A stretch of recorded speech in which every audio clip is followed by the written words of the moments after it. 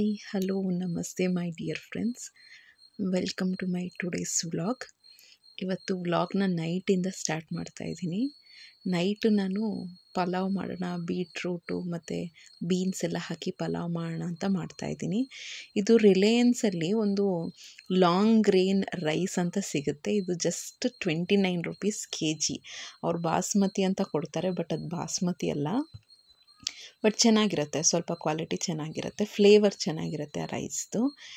ಇಲ್ಲಿ ನಾನು ಕುಕ್ಕರ್ ಇಟ್ಟು ಅದಕ್ಕೆ ಸ್ವಲ್ಪ ಎಣ್ಣೆ ಹಾಕಿ, ತರಕಾರಿ ಎಲ್ಲ ಹಾಕಿ, ಒಂದು ಮಿಕ್ಸಿ ಮಾಡ್ಕೊಂಡಿದ್ದೀನಿ ಮಸಾಲೆ ಮಾಡ್ಕೊಂಡಿದ್ದೀನಿ ಏನೇನು ಹಾಕಿದ್ದೀನಿ ಅಂದರೆ ಕಾಯಿ, ಶುಂಠಿ, ಬೆಳ್ಳುಳ್ಳಿ, ಚಕ್ಕೆ, ಲವಂಗ, ಏಲಕ್ಕಿ ಜೊತೆಗೆ ಪುದೀನ, ಕಸೂರಿ ಮೇಥಿ ಕೊತ್ತಂಬರಿ ಕೊತ್ತಂಬರಿ ಸೊಪ್ಪು ಸ್ವಲ್ಪ.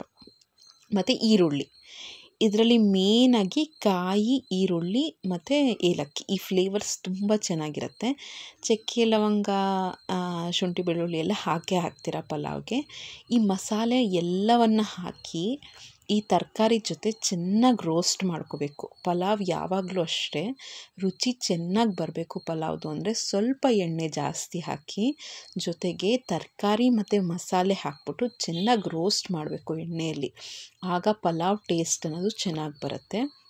ಇದಕ್ಕೆ ಖಾರದ ಪುಡಿ ಹಾಕ್ಕೊಳ್ಳಿ ಅಥವಾ ನಿಮ್ಗೆ ಹಸಿಮೆಣ್ಸಿನ್ಕಾಯಿ ಇಷ್ಟ ಅಂದರೆ ಹಸಿಮೆಣ್ಸಿನ್ಕಾಯಿ ಹಾಕ್ಕೊಳ್ಳಿ.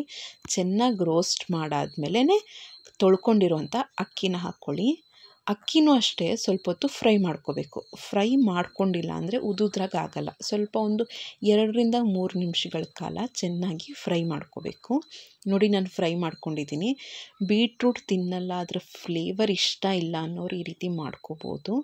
ಈಗ ನಾನು ಒಂದಕ್ಕೆ ಡಬಲ್, ಒಂದು ಗ್ಲಾಸ್ಗೆ ಎರಡು ಗ್ಲಾಸಷ್ಟು ನೀರನ್ನು ಹಾಕ್ಕೊಳ್ತಾ ಇದ್ದೀನಿ. ನೀವು ಸ್ವಲ್ಪ ಉದುದ್ರಾಗ ಬೇಕು ಅಂದರೆ ಒಂದು ಗ್ಲಾಸ್ಗೆ, ಫಾರ್ ಎಕ್ಸಾಂಪಲ್ ಎರಡು ಗ್ಲಾಸ್ ಹಾಕ್ತೀರಾ ಅಂದರೆ ಒಂದೂವರೆ ಗ್ಲಾಸಷ್ಟು ಅಂದರೆ ಮೂರುವರೆ ಗ್ಲಾಸಷ್ಟು ನೀರು.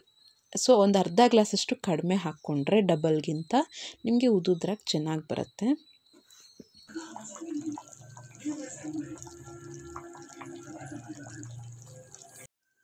ಈಗ ನಿ, ನಾನಿದು ಚೆನ್ನಾಗಿ ಬಾಯ್ಲ್ ಬಂದಾದಮೇಲೆ, ಕುದ್ದಾದಮೇಲೆ ಚೆನ್ನಾಗಿ ಮಿಕ್ಸ್ ಮಾಡ್ಕೊಳ್ಳಿ. ಕೆಳಗಡೆ ಎಲ್ಲ ಅಕ್ಕಿ ಕುತ್ತಿರುತ್ತೆ, ಮೇಲ್ಗಡೆ ಎಲ್ಲ ಮಸಾಲೆ ಇರುತ್ತೆ. ಸೊ ಆ ರೀತಿ ಲಿಡ್ ಕ್ಲೋಸ್ ಮಾಡಬಾರ್ದು. ಚೆನ್ನಾಗಿ ಮಿಕ್ಸ್ ಮಾಡಿ ಲಿಡ್ನ ಕ್ಲೋಸ್ ಮಾಡಿ ಒಂದೇ ವಿಸಿಲ್ಲು ಒಂದೇ ವಿಸಿಲ್ ಬಂದಿದ ತಕ್ಷಣ ಆಫ್ ಮಾಡಿ, ಇಲ್ಲಾಂದರೆ ತಳ ಹಂತೋಗುತ್ತೆ. ಸೊ ಈ ರೀತಿ ಪಲಾವ್ ಮಾಡ್ಕೊತೀನಿ. ತುಂಬ ಅಂದರೆ ತುಂಬ ಚೆನ್ನಾಗಿತ್ತು ಟೇಸ್ಟು. ಆ ಡಾಮಿನೆನ್ಸ್ ಬೀಟ್ರೂಟ್ ಫ್ಲೇವರ್ ಬರುತ್ತೆ ಅಂತ ಆ ಥರ ಏನೂ ಇರಲಿಲ್ಲ. ಸ್ವಲ್ಪನೂ ನಿಮಗೆ ಬೀಟ್ರೂಟ್ ಫ್ಲೇವರ್ ಅನ್ನೋದು ಗೊತ್ತಾಗಲ್ಲ. ಇದರ ಜೊತೆಗೆ ನಾನು ಚಟ್ನಿನೂ ಮಾಡಿದ್ದೆ. ತುಂಬ ಚೆನ್ನಾಗಿತ್ತು ಕಾಂಬಿನೇಷನ್. ಟ್ರೈ ಮಾಡಿ, ಮಿಕ್ಸಿಗೆ ಈರುಳ್ಳಿ ಅದನ್ನೆಲ್ಲ ಹಾಕ್ಕೊಂಡು ಏಲಕ್ಕಿ ಸ್ವಲ್ಪ ಜಾಸ್ತಿ ಹಾಕ್ಕೊಳ್ಳಿ. ನಾಲ್ಕರಿಂದ ಐದು ಏಲಕ್ಕಿ ಹಾಕ್ಕೊಂಡ್ರೆ ಅದ್ರ ಫ್ಲೇವರ್ ಅನ್ನೋದು ತುಂಬ ಚೆನ್ನಾಗಿ ಬರುತ್ತೆ. ಸೊ, ನೀವು ಕೂಡ ಡಿನ್ನರ್ಗೆ ಅಥವಾ ಬ್ರೇಕ್ಫಾಸ್ಟ್ಗೆ ಈ ರೀತಿ ಮಾಡಿಕೊಂಡು ಎಂಜಾಯ್ ಮಾಡಿ.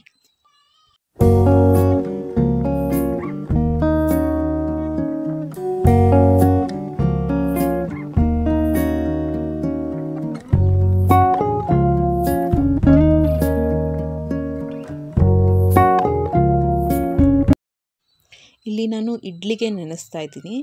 ಎರಡು ಗ್ಲಾಸಷ್ಟು ಅಕ್ಕಿ ತೊಗೊಂಡಿದ್ದೀನಿ. ಅದಕ್ಕೆ ಒಂದು ಮುಕ್ಕಾಲು ಗ್ಲಾಸಷ್ಟು ನಾನು ಉದ್ದಿನಬೇಳೆ ತೊಗೊಂಡಿದ್ದೀನಿ. ಮೆಂತ್ಯ ಹಾಕಿಲ್ಲ, ಏನೂ ಹಾಕಿಲ್ಲ. ಇದನ್ನು ಒಂದು ಓವರ್ ನೈಟ್ ನೆನೆಸಕ್ಕೆ ಬಿಟ್ಬಿಡ್ತೀನಿ. ಬೆಳಗ್ಗೆ ರುಬ್ತೀನಿ. ಮತ್ತು ಫರ್ಮೆಂಟೇಷನ್ ಆಗೋಕ್ಕೆ ಇಡೀ ದಿನ ಬಿಡ್ತೀನಿ. ನೈಟ್ ಆದರೂ ಮಾಡ್ಕೋಬೋದು ಅಥವಾ ನೆಕ್ಸ್ಟ್ ಡೇ ಮಾರ್ನಿಂಗ್ ಆದರೂ ಮಾಡ್ಕೋಬೋದು. ಅರ್ಥ ಆಯ್ತಲ್ಲ? ಈ ರೀತಿ ಯಾವಾಗಾದ್ರೂ ನೀವು ಬೆಳಗ್ಗೆ ನೆನೆಸೋದು ಮರ್ತೋದ್ರೆ ನೆಕ್ಸ್ಟ್ ಡೇ ಡಿನ್ನರ್ಗೆ ಆಗೋಗೆ ಪ್ಲ್ಯಾನ್ ಮಾಡ್ಕೋಬೋದು. ಚೆನ್ನಾಗಿ ತೊಳಿಬೇಕು ಮೇಯ್ನಾಗಿ. ಚೆನ್ನಾಗಿ ತೊಳೆಯೋದ್ರಿಂದನೇ ಅದು ಕಸ, ಅದು ನಾನು ರೇಷನ್ ಅಕ್ಕಿನ ಯೂಸ್ ಮಾಡೋದು. ಇಡ್ಲಿ, ದೋಸೆಗೆಲ್ಲ ರೇಷನ್ ಅಕ್ಕಿನೇ ಯೂಸ್ ಮಾಡೋದು. ಚೆನ್ನಾಗಿ ಒಂದು ಮೂರರಿಂದ ನಾಲ್ಕು ಸತಿ ತೊಳೆದಷ್ಟು ಒಳ್ಳೆಯದು ನಿಮ್ಮ ರೇಷನ್ ಅಕ್ಕಿ ಮೇಲೆ ಡಿಪೆಂಡ್. ನಾನು ಮಿನಿಮಮ್ ಮೂರು ಸತಿ ಅಂತೂ ತೊಳೆದೇ ತೊಳಿತೀನಿ. ತುಂಬ ಸತಿ ತೊಳೆದಷ್ಟು ಅದರಲ್ಲಿರುವಂಥ ಡರ್ಟ್ ಆಗಿರ್ಬೋದು ಕ್ಲಿಯರ್ ವಾಟರ್ ಬರಬೇಕು ಅಲ್ಲಿವರೆಗೂ ಚೆನ್ನಾಗಿ ತೊಳಿಬೇಕು. ಆಗ ನಿಮ್ಮ ಇಡ್ಲಿ ಅನ್ನೋದು ವೈಟಾಗೂ ಬರುತ್ತೆ, ಮತ್ತು ನೀಟಾಗಿರುತ್ತೆ. ಅಷ್ಟೊಂದು ಇಂಪ್ಯೂರಿಟೀಸ್ ಎಲ್ಲ ಏನೂ ಇರಲ್ಲ. ಚೆನ್ನಾಗಿ ತೊಳೆದು ಈಗ ನೆನೆಸ್ತಾ ಇದ್ದೀನಿ. ರುಬ್ಬೋಕ್ಕಿಂತ ಒಂದು ಅರ್ಧ ಗಂಟೆ ಮೊದಲು ನಾನು ಅವಲಕ್ಕಿ ಮತ್ತು ಅನ್ನನ ಹಾಕ್ಕೊಳ್ತೀನಿ. ನೆನೆಸಿರುವಂಥ ಅವಲಕ್ಕಿ ಮತ್ತು ಅನ್ನನ ಹಾಕ್ಕೊಳ್ತಾ ಇದ್ದೀನಿ. ಇದು ನೆಕ್ಸ್ಟ್ ಡೇ ಮಾರ್ನಿಂಗು ಇವತ್ತು ನಮ್ಮ ಮ್ಯಾಗಿ ಡೇ ಇತ್ತು. ನಾನು ಯೂಶ್ವಲಿ ಜಾಸ್ತಿ ಮ್ಯಾಗಿ ಪ್ರಿಫರೆನ್ಸ್ ಮಾಡಲ್ಲ. But once in a while four ಮಂತ್ಸ್ಗೆ ಅಥವಾ ಫೈವ್ ಮಂತ್ಸ್ಗೆ ಒಂದು ಸತಿ ಡಿಪೆಂಡ್ಸ್ ನನ್ನ ಕೆಲಸ ಜಾಸ್ತಿ ಇತ್ತು ಅಂದರೆ ಮ್ಯಾಗಿ ಮಾಡಿಬಿಡ್ತೀನಿ. ಈಗ ನಾನು ಮ್ಯಾಗಿ ಮಾಡ್ತಾಯಿದ್ದೀನಿ ಮಾಮೂಲಿ ಒಗ್ಗರಣೆ ಕೊಟ್ಟು ಮ್ಯಾಗಿ ಹಾಕಿ ನನ್ನ ಮಕ್ಕಳಿಗೆ ಮ್ಯಾಗಿ ಅಂದರೆ ತುಂಬ ಇಷ್ಟ. ಅದು ನಾನು ಆಗಾಗ ಮಾಡ್ತಾ ಇರಲ್ಲ. ಅದಕ್ಕೆ ಅವ್ರಿಗೆ ಇನ್ನೂ ಅದ್ರ ಮೇಲೆ ಆಸೆ ಅನ್ನೋದು ಜಾಸ್ತಿ ಆಗುತ್ತೆ. ಅದೇನೋ ಅಂತಾರಲ್ಲ ಅಂದರೆ ಆಗಾಗ ಸಿಕ್ಬಿಟ್ರೆ ಅದ್ರ ಬೆಲೆ ಗೊತ್ತಾಗಲ್ಲ ಅಂತ. ಅದು two months once three months once ಕೆಲವು ಸತಿ ಫೈವ್ ಮಂತ್ಸ್ವರೆಗೂ ಮಾಡಲ್ಲ ನಾನು. Because it is unhealthy but taste ಬಡ್ಸ್ಗೆ ಒಂದು ಟೇಸ್ಟ್ ಬೇಕು ಮಕ್ಕಳಿಗೆ ಅಂತ. ನಾನು ಆಗಾಗ ಈ ರೀತಿ ಮಾಡ್ತಾಯಿರ್ತೀನಿ ಈಗ ನಾನು ಎಣ್ಣೆ. ನಾನು ಇದಕ್ಕೆ ಸಾಸಿವೆ, ಜೀರಿಗೆ ಅವೆಲ್ಲ ಹಾಕಲ್ಲ. ಇದು ಒಂಥರ ಅಥೆಂಟಿಕ್ ಸ್ಟೈಲಲ್ಲಿ ಮಾಡೋಕ್ಕೆ ಹೋಗಲ್ಲ. ಚೈನೀಸ್ ಫುಡ್ ಚೈನೀಸ್ ಫುಡ್ ಥರನೇ ಇರಲಿ. ಸ್ವಲ್ಪ ಇಂಡಿಯನ್ ಟಚ್ ಕೊಟ್ಟಿರೋಂಥದ್ದು ಏನಂದರೆ ಈರುಳ್ಳಿ, ಹಸಿಮೆಣ್ಸಿನ್ಕಾಯಿ. ಟೊಮ್ಯಾಟೊ, ಎಣ್ಣೆ ಇದನ್ನೆಲ್ಲ ಹಾಕಿದ್ದೀನಿ. ಟೇಸ್ಟ್ ಮೇಕರ್ ಹಾಕಿ ಉಪ್ಪನ್ನು ಹಾಕಬೇಕಾಗತ್ತೆ ಸ್ವಲ್ಪ. ಯಾಕೆಂದರೆ ನಾವು ಈರುಳ್ಳಿ ಎಲ್ಲ ಹಾಕಿರ್ತೀವಲ್ವ, ಅದನ್ನು ಬ್ಯಾಲೆನ್ಸ್ ಮಾಡೋಕ್ಕೆ ಸ್ವಲ್ಪ ಉಪ್ಪನ್ನು ಹಾಕಿ, ನೀರನ್ನು ಹಾಕಿ ಸ್ವಲ್ಪ ಬಾಯ್ಲಿಂಗಿಗೆ ಬಿಡಬೇಕಾಗುತ್ತೆ. ನನ್ನ ಪಕ್ಕದಲ್ಲಿ ನನ್ನ ಚಿಕ್ಕ ಮಗಳಿಗೆ ಮಾಡ್ತಾಯಿದ್ದೀನಿ ಮ್ಯಾಗಿ. ಅವಳು ಖಾರ ತಿನ್ನಲ್ಲ. ಸೊ ಅದಕ್ಕೆ ಹಸಿಮೆಣ್ಸಿನ್ಕಾಯಿ ಇಲ್ದಿರೋದು ಇನ್ನೊಂದು ಮಾಡ್ತಾಯಿದ್ದೀನಿ ನಾನು.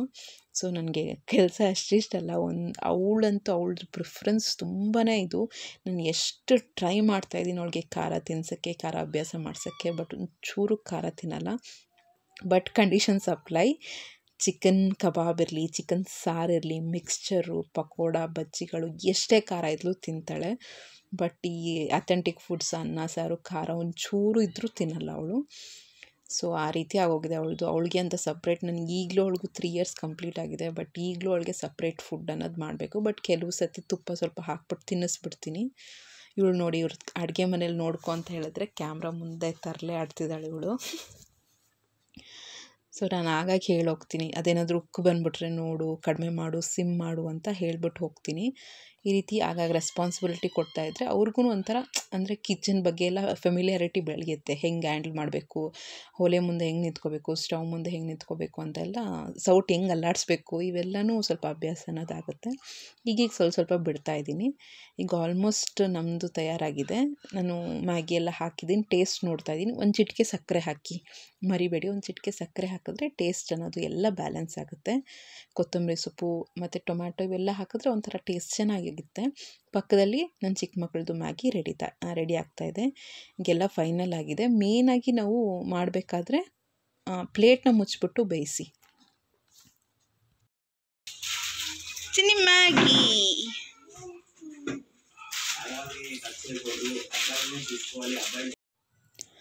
ಸೊ ಇದು ಚಿಕ್ಕವಳ್ದು ಚಿಕ್ಕವಳ್ದು ರೆಡಿಯಾಗಿದೆ ತೋರಿಸ್ತಾ ಇದ್ದೀನಿ ಅವಳು ಮ್ಯಾಗಿ. ನನಗೂ ಆ್ಯಕ್ಚುಲಿ ಮ್ಯಾಗಿ ಅಂದರೆ ತುಂಬಾ ಇಷ್ಟ.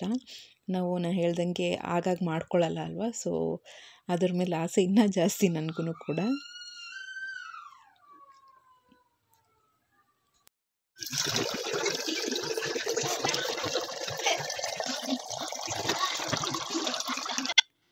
ಸೊ ಈಗೆಲ್ಲ ನೀರೆಲ್ಲ ತುಂಬಿಕೊಂಡು ಬ್ರೇಕ್ಫಾಸ್ಟ್ ರೆಡಿಯಾಗಿದೆ ಎಂಜಾಯ್ ಮಾಡ್ತಿದ್ದೀವಿ ನಾವು. ಇವ್ನು ನೀವು ನೋಡ್ತಾ ಇರ್ಬೋದು, ಅವಳು ಕೇರ್ ಆ್ಯಂಡ್ ಕನ್ಸರ್ನ್. ಇವತ್ತು ಮ್ಯಾಗಿ ಡೇ ನಮ್ಮದು ಮ್ಯಾಗಿ ಡೇ ಅಂದರೆ ಫುಲ್ ಹ್ಯಾಪಿನೆಸ್ ಅವ್ರಿಗೆಲ್ಲ. ಹಸ್ಬೆಂಡ್ಗೂ ಇಷ್ಟ ಮ್ಯಾಗಿ ಅಂದರೆ.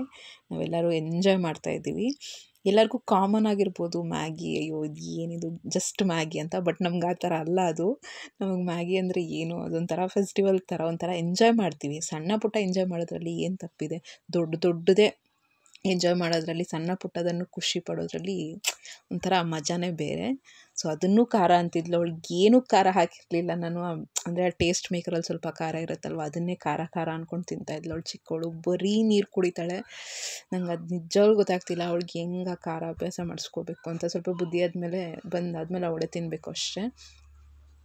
ಈಗೀಗ ನಾನೇ ಸ್ವಲ್ಪ ಜಾಸ್ತಿ ಮೆಚ್ಯೂರಿಟಿ ಆಗೋಗಿದ್ದಾಳೆ.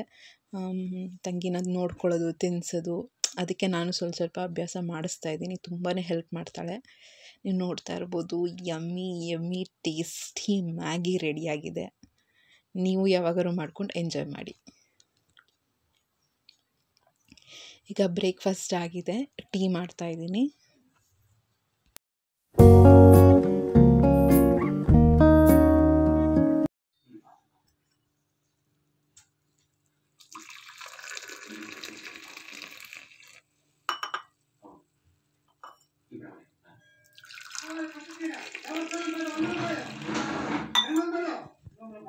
రెండు వందల పాతిక రెండు వందల యాభై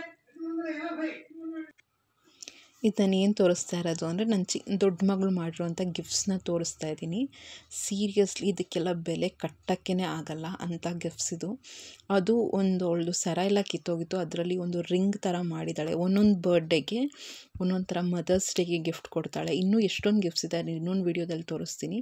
ಕೆಲವು ಗಿಫ್ಟ್ಸು ನನಗೆ ಕಣ್ಣು ಕಾಣ್ತು. ಅದಕ್ಕೆ ನಾನು ತೋರಿಸ್ತಾ ಇದ್ದೀನಿ. ಇದನ್ನು ವೀಡಿಯೋಲ್ಲಿ ನಾನು ಅಂದರೆ ಪ್ರಿಸರ್ವ್ ಮಾಡಿಟ್ಟಿರ್ತೀನಿ ಜೋಪಾನವಾಗಿ ಇಟ್ಟಿರ್ತೀನಿ ಫಾದರ್ಸ್ ಡೇಗೆ ಒಂದು ಲೆಟ್ರ್ ಬರೀತಾಳೆ. ಮದರ್ಸ್ ಡೇ ಇದ್ದಾಗ ಬರ್ಡ್ಡೇ ಇದ್ದಾಗ ಈ ರೀತಿ ಎಲ್ಲ ಒಂದು ಸ್ಪೆಷಲ್ ಸ್ಪೆಷಲ್ ಗಿಫ್ಟ್ ಮಾಡ್ತಿರ್ತಾಳೆ. ನನಗೊಂಥರ ನಿಜವಾಗ್ಲೂ ಸ್ಪೆಷಲ್ ಅಂತ ಅನಿಸುತ್ತೆ. ಅವಳ ಕ್ರಿಯೇಟಿವಿಟಿ ಅವಳ ಇನೋವೇಟಿವ್ನೆಸ್ ಎಲ್ಲ ತೋರಿಸ್ತಾ ತೋರ್ಸೋಕೆ ಒಂಥರ ಖುಷಿ ಆಗುತ್ತೆ. ಇದನ್ನೆಲ್ಲ ಪ್ರಿಸರ್ವ್ ಮಾಡ್ಕೊಂಡಿದ್ರೆ ಅವ್ರು ದೊಡ್ಡವರಾದಾಗ ಒಂಥರ ಅವ್ರಿಗೆ ಖುಷಿ ನೋಡೋಕ್ಕೆ. ನಮ್ಮ ಚಿ, ಅಮ್ಮ ಅಂತೂ ನಾವು ಚಿಕ್ಕ ವಯಸ್ಸು ಇದ್ದಾಗ ನಮ್ಮ ಫ್ರಾಕ್ಸು ಅದನ್ನೆಲ್ಲ ಈಗಲೂ ಇಟ್ಟಿದ್ದಾರೆ. ಸೊ ಅದೆಲ್ಲ ನೋಡಿದಾಗ ಒಂಥರ ನಾಸ್ಟಾಲ್ಜಿಕ್ ಫೀಲಿಂಗ್ ಒಂಥರ ಖುಷಿ ಆಗುತ್ತೆ. ಇಲ್ಲಿ ನೋಡ್ತಾ ಇರ್ಬೋದು, ಚಿಕ್ಕ ಮಗಳು ಅವ್ರ ಅಪ್ಪನಿಗೆ ಮಸಾಜ್ ಮಾಡ್ತಿದ್ದಾಳೆ. ಅವ್ರು ಊಟಕ್ಕೆ ಬಂದಿದ್ದಾರೆ. ಸೊ ಅದಕ್ಕೆ ಇವರಿಬ್ರು ಅಪ್ಪನಿಗೆ ಮಸಾಜ್ ಮಾಡೋಣ ಅಂತ ಮಸಾಜ್ ಮಾಡ್ತಿದ್ದಾರೆ. ಯಾರಿಗುಂಟು, ಯಾರಿಗಿಲ್ಲ ಇಂಥ ಸುಖ. ಚಿಕ್ಕ ಚಿಕ್ಕ ಪುಟ್ ಪುಟ್ಟ ಕೈಗಳಲ್ಲಿ ಮಸಾಜ್ ಮಾಡಿಸ್ಕೊಳ್ತಾ ಇದ್ದಾರೆ. ಅವ್ರ ಅಪ್ಪಂಗೆ ಅದೇ ಖುಷಿ. ಅವ್ರು ಊಟಕ್ಕೆ ಅಂತ ಒಂದು ನೆಪಕ್ಕೆ ಬರ್ತಾರೆ ಬಟ್ ಅವ್ರು ಬರೋದೇ ಮಕ್ಕಳ ಜೊತೆ ಎಂಜಾಯ್ ಮಾಡೋಕ್ಕೆ. ಒಂದು ಒಂಥರ ಬ್ರೇಕ್ ಅಂತ ಸಿಗುತ್ತೆ. ಏಯ್ಟ್ ಅವರ್ಸ್ ಕಂಟಿನ್ಯೂಸ್ ಆಗಿರುತ್ತಲ್ವ? ಸೊ ಒಂದು ಹಾಫ್ ಆನ್ ಅವರ್ ಬ್ರೇಕ್ ಅಂತ ಸಿಕ್ಕಿದ್ರೆ ಒಂದು ರಿಫ್ರೆಶ್ಮೆಂಟ್ ಥರ ಆಗುತ್ತೆ. ನೆಕ್ಸ್ಟ್ ನೆಕ್ಸ್ಟ್ ಹಾಫು ಚೆನ್ನಾಗಿ ಎಂಜಾಯ್ ಮಾಡ್ಬೋದು ಅಂತ. ಅದು ಈ ಚಿಕ್ಕವಳು ದೊಡ್ಡವಳು ಈ ಕಾಂಬಿನೇಷನ್ ಅಂತೂ ಬಂದಿದ್ದು ಅರ್ಧ ಗಂಟೆ ತಲೆ ತಿಂದಿಟ್ಬಿಡ್ತಾರೆ. ನಕ್ಕು ನಕ್ಕು ಸಾಕಾಗುತ್ತೆ ಅವ್ರಿಗೂ ಆಮೇಲೆ ಖುಷಿ ಖುಷಿಯಿಂದ ಊಟ ಮಾಡ್ಕೊಂಡು ಹೋಗ್ತಾರೆ ಅವರು. ನೀವು ನೋಡ್ತಾ ಇರ್ಬೋದು, ಅವ್ರ ತರಲೆ, ಅವ್ರ ಮುದ್ದಾಟ ಎಲ್ಲನೂ.